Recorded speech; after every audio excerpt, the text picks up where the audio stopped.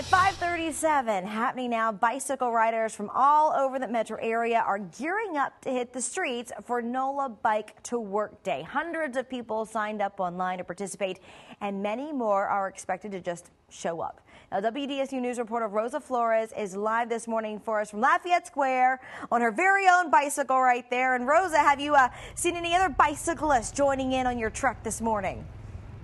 Not yet, Randy, but you know what? We're keeping an eye out this morning because hundreds of riders are expected to make their way here to Lafayette Square. But guess what? They're meeting at meetup points around the city at about 645. So take a look at your screen because here are those meetup locations. They're all over town.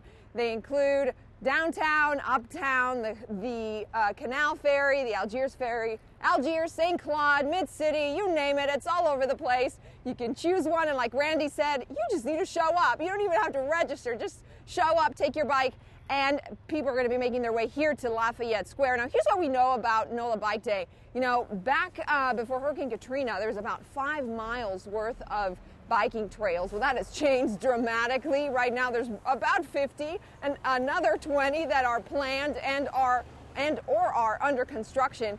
But you know, a few years ago, um, this almost came to an end because it all started with a federal grant. But Entergy here locally stepped up and started footing the bill. Take a listen.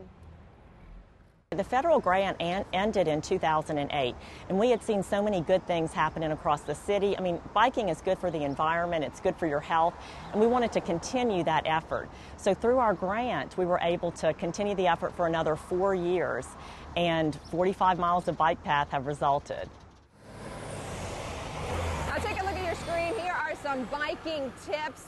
First of all, you can use the Google Planner uh, to plan your, your bike trip. You want to ride your bike like you do a vehicle, and always remember to use those uh, streets that are parallel to the busy streets. And always remember, you got to know where you're going to put your bike. But you know, there's a lot of uh, different areas where you can do that in the city because the city of New Orleans has been adding those to make it easier for riders and bikers. So, Randy, you know, this is NOLA Bike, Bike to Work Day. I'm biking at work today here at WDSU. But you know, the weather's beautiful. I know um, Jay mentioned it earlier.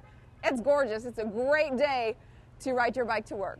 Hey, and there's uh, some good news for bikers out there too. You know, if you are maybe making your way out, get preparing to uh, get your bike out, maybe you haven't taken it out in a while, mechanics are going to be on hand both in the morning and in the afternoon, just in case riders have any issue with their bikes.